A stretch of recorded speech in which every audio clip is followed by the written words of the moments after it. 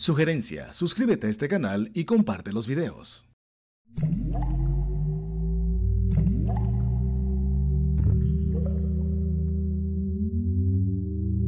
Bueno, estás en el centro de la polémica, como ya sabes, ¿no? Por la foto que compartiste en TikTok hace unas semanas durante una visita tuya al rancho del cantante mexicano Vicente Fernández.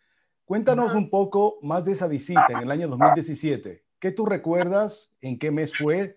Eh, ¿Por qué quisieron visitar el rancho? ¿Y cuánto tiempo estuvieron en el rancho de Don Chente? Fuimos en el junio de 2017 y uh, mi papá ya ha ido ahí con, con, mi tío y decidió que uh, estará bien visitarlo también con nosotros. Y entonces nomás estuvimos ahí por como 30 minutos, nomás nos dieron un tour de su rancho y luego pusimos en fila para hacer un foto y luego nos formamos para que cantara y ahí es cuando me, me fijé de, de los fotos, pero después de eso nos fuimos. Cuéntame quiénes están en la foto que compartiste en TikTok junto a ti y Vicente Fernández. ¿Quiénes son esas personas? En la foto es mi mamá y yo y mi hermana. ¿Vicente Fernández estaba ahí y ustedes esperaron para tomarse la foto o él llegó en ese momento? Pues nos formamos en fila y él ya estaba ahí tomando fotos con la gente. Cuando nos subimos, nos sentamos ahí junto a él. ¿Quién tomó la foto? Alguien que trabajó ahí. O sea, no fue un, un miembro de tu familia, ¿no? No, mi papá estaba detrás de nosotros con mi hermano esperando. ¿Y ninguno de tus familiares se dio cuenta de que esa mano estaba en tu busto? No, no nos dimos cuenta hasta que nos bajamos y luego estábamos uh, viendo las fotos en mi teléfono cuando estaba cantando.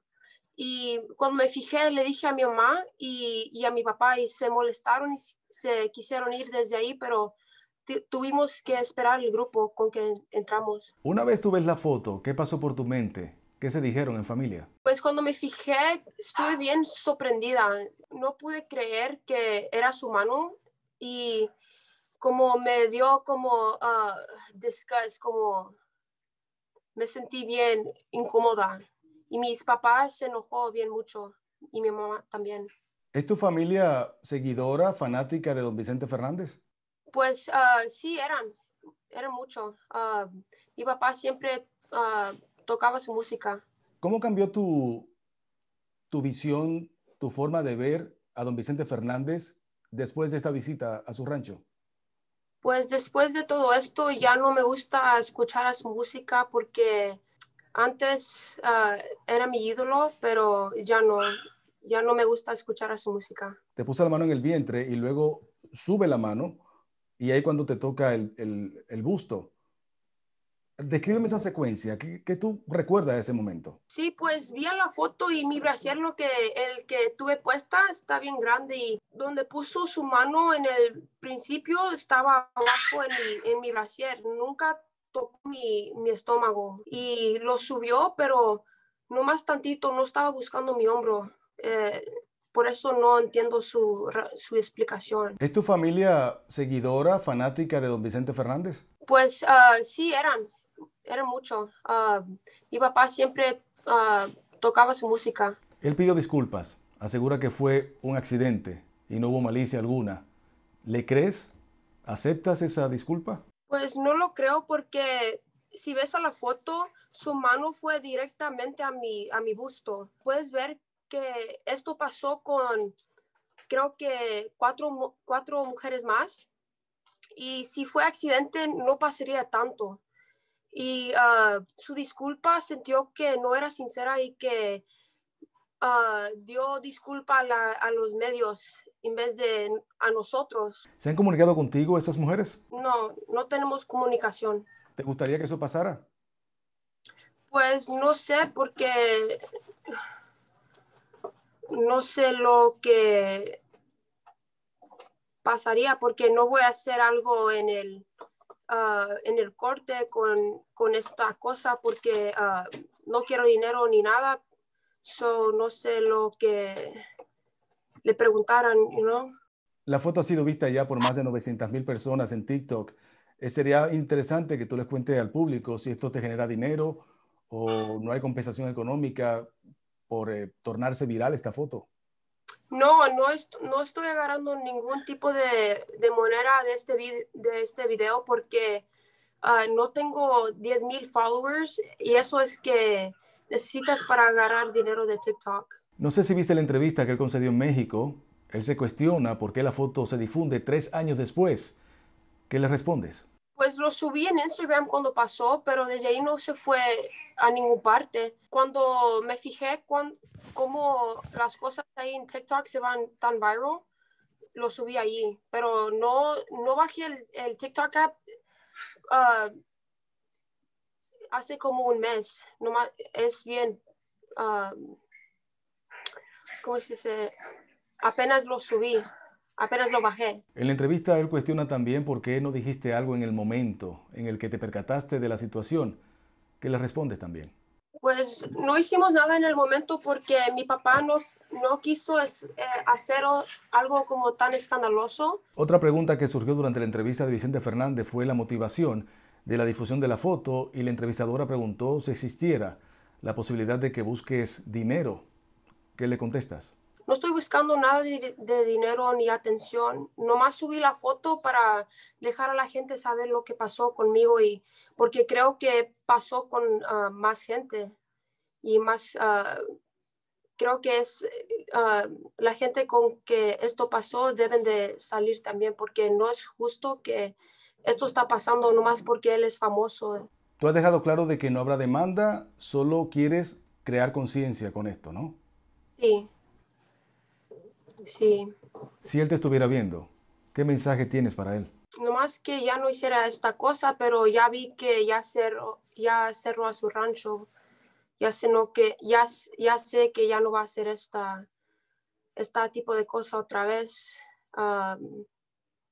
y que debe dar un, un disculpas sincero a nosotros, a las mujeres que, que tocó. Si él te invita a su rancho para hablar y darte una disculpa cara a cara, ¿tú aceptarías? A lo mejor no, porque esta pandemia ah, no quiero ir a ningún lado.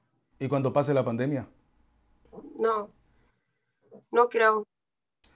Tú has recibido muchos insultos, de hecho, no aceptas comentarios sobre la foto. Cuéntanos qué te han dicho. Ay, sí, pues ah, me han dicho que, que me gustó lo que pasó porque el, el caption, lo que puse, y ah, dicen que ah, no, no moví su mano y que ah, me gustó por esa razón y que soy bien dejada, que no tengo respeto por mí mismo. Y eso sí me, sí me dolió. mi esposo me estaba diciendo que debo de nomás borrar, borrar el, el app o el, el video porque vio cuánto me molestó pero en vez de hacer eso, nomás uh, apagué los comments para, para no leer las, los comentarios. En la entrevista se cuestionó que tu cuenta de TikTok uses un nombre alusivo a Triple X. ¿No puedes explicar de, de qué se trata esto? Es nomás porque, uh, nomás por chiste, cuando escribo mi, nombre mi nombre, le pongo uh, 3X nomás por estilo porque me llamo Lex, no más es por estilo. algún, la gente por alguna razón piensa que es porque ah, cuando ven eso piensan a las, ah, las películas malas, uh, groseras, pero no es por esa razón, nomás es porque